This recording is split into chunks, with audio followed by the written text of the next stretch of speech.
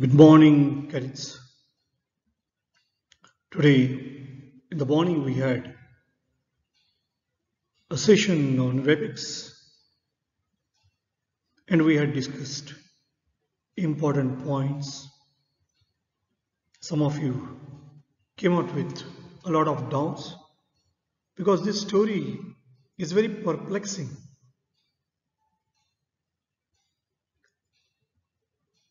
So third level did really exist? Or was it a fantasy? Or is it a reality? Is it that Sam is realistic? If he was realistic, how does he land up there in Galesburg? So many questions.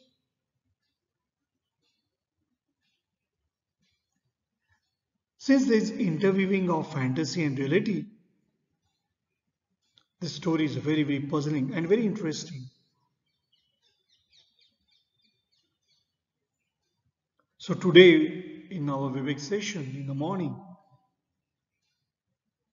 we had discussed important points that you should note down so that you can score very well in multiple choice questions sets. Because term examination is going to be full of multiple choice questions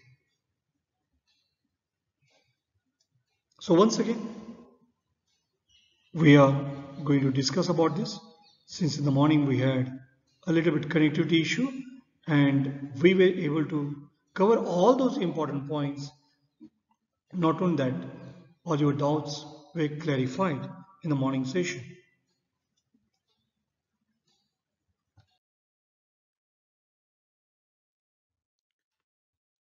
The third level at grand central station so remember about the third level at grand central station and you should be able to explain about this third level. So by this time, you know what is the third level. Now here Charlie claims that he has been to the third level. The first level, that is a ground level from where one can go to some other cities by the train. Here he is talking about the third level where at Grand Central Station, which is in New York City. But everybody is aware that how many levels are there? There are only two levels. One for the trains which can go to some other cities and another one from where the local trains go to some other parts of the city or suburban part. In the outskirt also one can go by taking that train. So by taking the metro train. So these are the two levels. But charlie claims that he came across the third level and where the train to Galesburg was possible the way the train was there for Galesburg and he takes us to the past. So there's a travel from present to the past. And it's a kind of wish what Charlie had and what his, his friend told him that he had waking dream wish fulfillment. He had mental illness. He was trying to escape. So it was a kind of escapism so your Grand Central Station of New York has two levels. So you should know what is the third level. And it is a medium of escape for Charlie. So it was a way by which he can escape from the harsh realities of this modern life, of this modern world. But Charlie, a 31 year old dweller of the city, talks about there being three so he claims that there has been three levels and he has been to that third level. Not only does he believe in the existence of this hypothetical third level, but also claims to have been there. So does it really exist? It doesn't exist at all. Then what is it? It's an imaginative flight. And here the psychiatrist friend tells him that the modern world is full of insecurities. Modern world is full of uncertainties. And that is the reason why one wants to escape from this. So what he will do? He will fantasize. And that is what Charlie has done. So I, I'm quite sure that you understood what does third level refer to. So it refers to what? It refers to story. Like a building will have three stories. So similar way here in the case of a train, a station, there are three levels. That is what Charlie has been telling. Okay. The second character which is very important is Sam. And who is Sam? Sam is psychiatrist friend. So he happens to be friend of Charlie. He happens to be a psychiatrist. So Charlie visits a psychiatrist friend, Sam, to talk about his, his problem. So he consults him. And psychiatrist friend that Sam says he was suffering from waking dream wish fulfillment. So he is daydreaming. Waking dream, he is a daydreaming. He is in the waking state. But what is he doing? He is dreaming. And he has got a wish that he is trying to fulfill that wish in the dreamy state. So what is it? It's a fantasy. So waking dream wish fulfillment. You must understand this phrase. This phrase is very important and rationalizes Charlie's psychology by saying that so what is his mental illness? Sam tells by saying that the modern world is full of insecurity fear worry and war and that is the reason why Charlie has been fantasizing. And everybody wants to escape to some temporary refuge from reality. So they want to take kind of shelter. They want to take kind of refuge from reality. They want to escape from this harsh reality. So what will they do? They'll start daydreaming. They will start fantasizing. And that is what he has been doing. That is this is a rational answer which sam gives. According to him even hobbies like stamp collection is a manifestation of this escape or a way to escape from reality and go into that world, the world wherein all fantasies exist.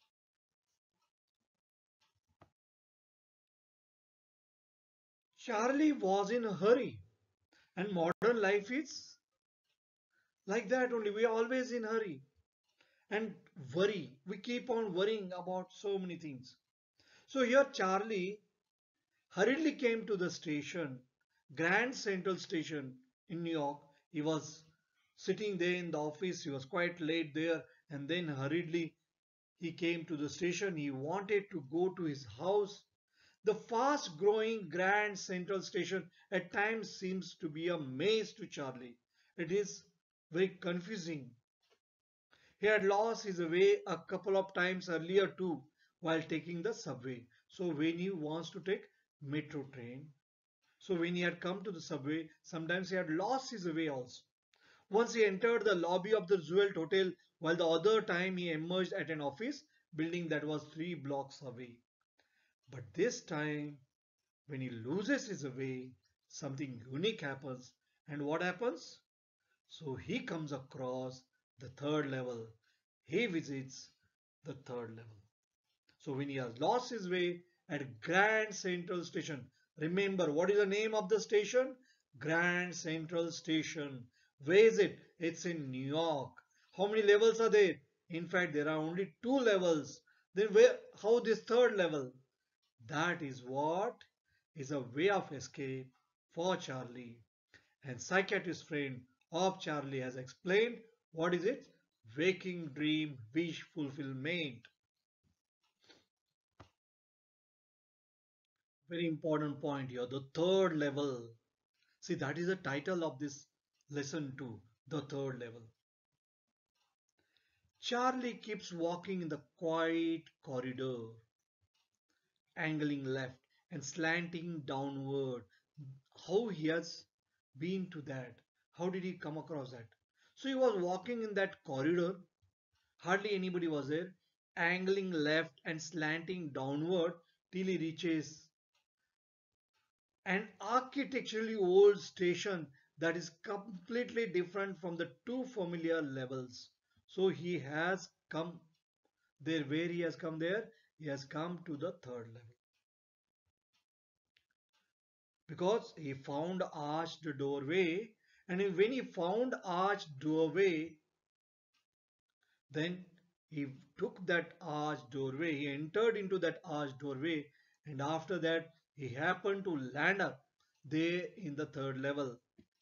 And when he came to the third level, how was the third level?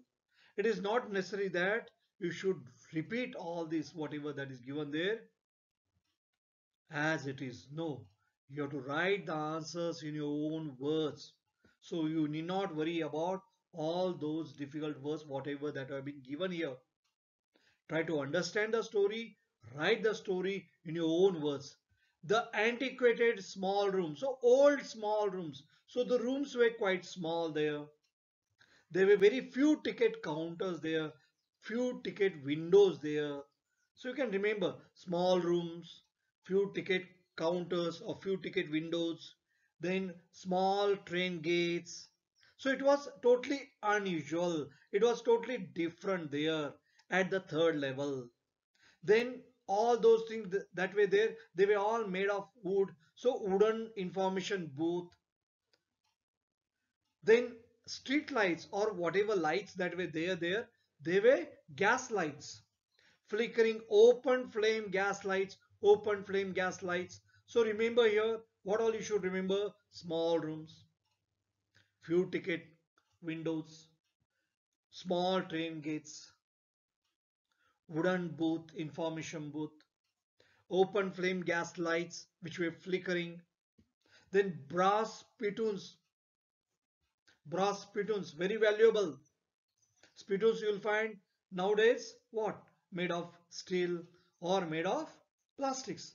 But during that time, brass spittoons, which were then late 19th century, reminds him of the architecture of the late 19th, 18th century, but it is not 18th century, it's a 19th century. 18, 18th century. Is it 18th century? It's a late 19th century. 1894. He also finds that people are dressed in outmoded outfits. So people are dressed in outmoded. So what is not prevailing now? Old outfits he notices that the date on the newspaper, the world. Now the world newspaper is no more published, but it was there during that particular time. And he tells that the world has stopped printing long back, has stopped publishing that newspaper long back. He talks about that. So the world, which was at that time in circulation, and the date that is written there, June 11th, 1894. As he tenders money to the clerk at the counter to buy two tickets, he realizes that he need to have old currency bills to do so. So he should have old currency. Very important one. Go through again and again this. So Charlie's plan for a journey not realized. Charlie wanted to go where? He wanted to go to Galesburg. So he had come to the third level and he knew that he can travel to Galesburg but did it realize? Did he go to Galesburg? No, he couldn't go to Galesburg. But he came across third level. After that, he has come out of that. He had always wanted to travel to Galesburg with his wife, Louisa. In his mind, it is a wonderful town still with big old frame houses, huge lawns and tremendous trees. It is a place with long and pleasant summer evenings and where people have ample of time. People have a lot of time there. So people are relaxed. People are leading very peaceful life. So he wished to have that kind of life. He was always anxious.